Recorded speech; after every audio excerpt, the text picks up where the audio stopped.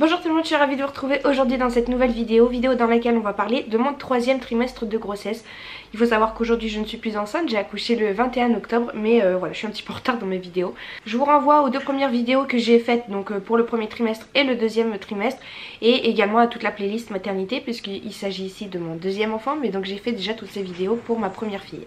Alors qu'est-ce qui s'est passé durant ce troisième trimestre de grossesse? Donc j'ai eu ma troisième échographie. Donc on a voulu y aller avec euh, John, sauf qu'en fait pour les deux premières échographies, John avait pu venir avec moi sans problème. Sauf qu'il y a eu des changements de loi, de règles, etc. par rapport au Covid. Donc là on se rend au rendez-vous du troisième trimestre de grossesse et sur la porte d'entrée est affiché en gros test PCR obligatoire et passe sanitaire, machin machin. Sauf que John à cette époque-là, il s'était pas encore fait vacciner. Donc il a dû rester euh, bah, à l'entrée, il n'a pas pu assister malheureusement à cette euh, dernière échographie, c'était vraiment trop dommage parce qu'en plus de ça, on a eu, enfin la sage-femme m'a proposé de faire une euh, vue en 3D. Donc euh, vraiment, il était dégoûté d'être passé à côté de ça. Mais bon, l'échographie dans l'ensemble s'est très bien passé, tout était bien, il était estimé à 3,2 kg. Il est sorti à 3,360 360, donc voilà, l'estimation était plutôt bonne. Et comme je vous le disais, on a pu voir euh, bébé en version 3D, donc je vous mettrai quelques photos ici, enfin j'en ai que une ou deux. Elles sont pas très belles les photos, je les avais montrées dans mes vlogs. Elles sont vraiment pas très belles parce que le nez il ressort très très gros. Et bon alors la sage-femme m'a rassurée, elle m'a dit que voilà c'était dans le liquide donc ça avait un effet grossissant, que voilà ça allait changer etc. Mais c'est vrai que les photos elles sont pas jojo mais c'était quand même super agréable à, voir. J'ai également eu mes deux derniers rendez-vous à l'hôpital cette fois-ci et non pas chez ma sage-femme libérale. Donc euh, c'était le rendez-vous du 8e et 9e mois. J'ai eu le feu vert pour... Euh, l'accouchement par voie basse parce qu'en fait ma première grossesse j'ai accouché euh, par césarienne. Mais c'était une césarienne qui n'était pas du tout prévue. Là le bébé pour le bébé 2 avait bien la tête en bas donc euh, voilà. C'est pas parce que j'ai eu une première césarienne que je devais obligatoirement passer par la case césarienne pour cette deuxième euh, grossesse. Donc de ce côté là normalement tout était bon sauf s'il y avait urgence donc j'étais déjà bien contente. Ensuite au niveau de mes symptômes donc forcément je me réveillais 3-4 fois pour aller faire pipi mais vraiment c'était horrible. Ça casse les nuits quoique ça m'a bien mis dans le bain pour euh, ce qui allait suivre après quand bébé arrive parce que forcément quand bébé arrive et eh ben il réclame à manger très régulièrement dans la nuit donc euh, ça m'a mise bien dans le bain mais c'est vrai que c'est pénible quoi. Hein. Je sentais bébé bien sous les côtes, ça me vraiment j'avais envie de pousser le bébé pour qu'il descende parce que vraiment je le sentais sous les côtes même euh, lors de l'échographie elle a dû passer sa sonde au-dessus de ma côte et appuyer ça a dû faire mal elle m'a dit je suis désolée je suis obligée d'aller là mais c'est parce qu'il s'est caché sous vos côtes le bébé et vraiment j'avais vraiment envie de le de le pousser là, de rentrer mes mains sous les côtes et de le pousser tellement c'est pas agréable comme sensation. Je vous parlais de mon moral qui euh, était descendu lors de ce premier trimestre et euh, qui commençait à remonter euh, pendant le deuxième trimestre. À la fin là sur les trois derniers mois vraiment ça allait beaucoup beaucoup mieux, le moral il a été bien bien meilleur. J'avais de nouveau de la motivation, du dynamisme, c'était pas, ça avait rien à voir avec ce premier trimestre. Donc je pense que c'était vraiment lié au, aux hormones de, grossesse. Parce que là aujourd'hui post-accouchement ça y est je peux pas dire que j'ai le moral en berne. Donc euh, c'est euh, un très bon point. Contrairement à ma première grossesse j'avais accouché en plein mois d'août. Et c'était l'année 2018 il a fait très très très très chaud cette année là. Mais là cette année le mois d'août il a été vraiment pas chaud du tout il a pas fait beau de partout en France de toute façon et euh, bah, d'un côté tout le monde se plaignait mais moi j'étais contente parce que franchement enceinte vous ressentez la chaleur euh, doublement par rapport aux autres.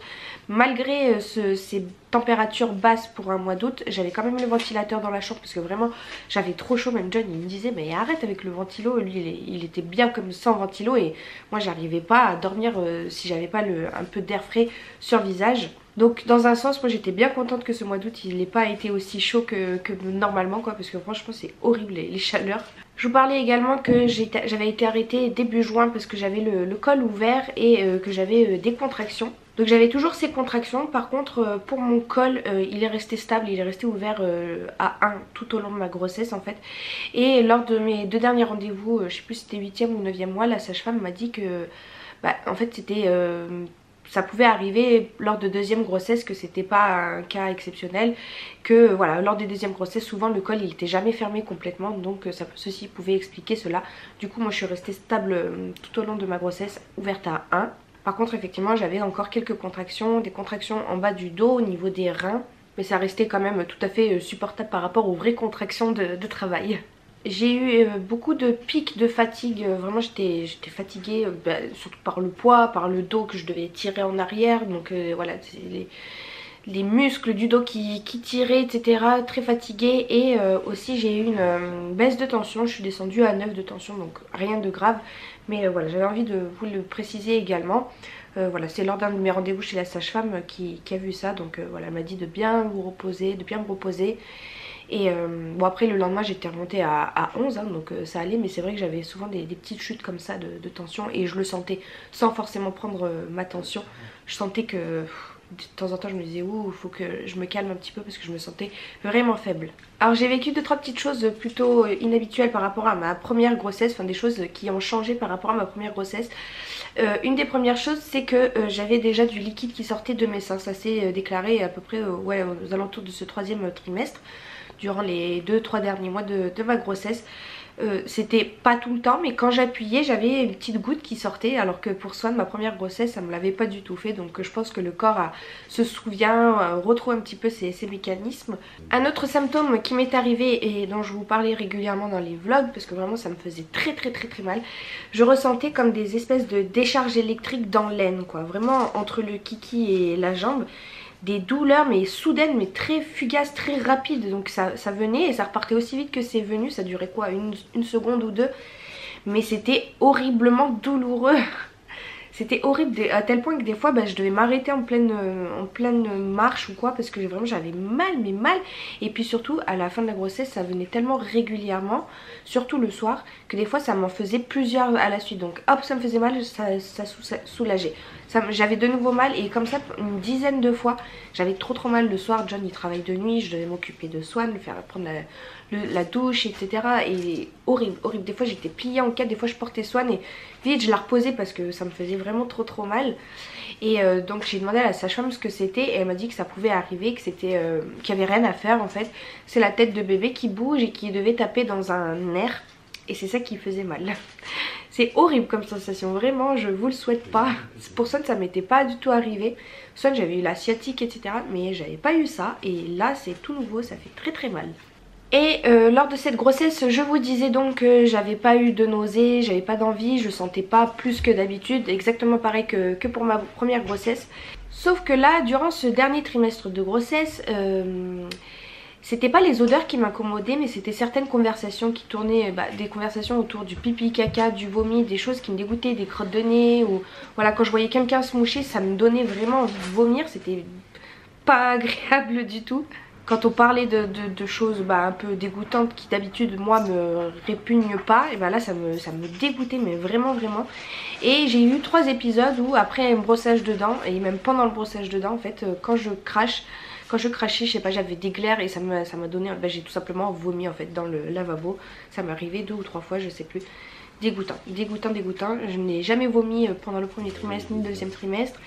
Et là c'est pas des nausées qui m'ont donné envie de vomir, c'est vraiment un réflexe mécanique j'imagine qui m'a donné envie de vomir à tel point que bah, j'ai vomi dans le lavabo en me brossant les dents et j'ai pas eu le temps d'aller euh, aux toilettes etc. C'était dégueulasse. Et donc je vais finir par euh, vous parler de mon poids. Donc pendant ce deuxième, troisième trimestre de grossesse, pardon, j'ai pris 2 kilos. Donc en fait au total j'ai pris que 5 kilos. Et euh, j'ai été choquée. parce que pour ma première grossesse j'en avais pris 12. Et là j'en ai pris 5. Mais je mangeais pas plus que d'habitude. J'avais pas plus faim que, ça.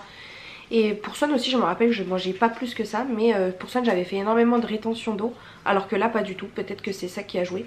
Mais euh, ouais du coup j'ai pris que 5 kilos et j'étais trop contente parce qu'aujourd'hui bah, j'ai perdu euh, tous ces 5 kilos d'un coup quoi. Puisque entre le bébé, le liquide amniotique, l'utérus, le placenta, tout ça tout ça, bah il restait plus rien.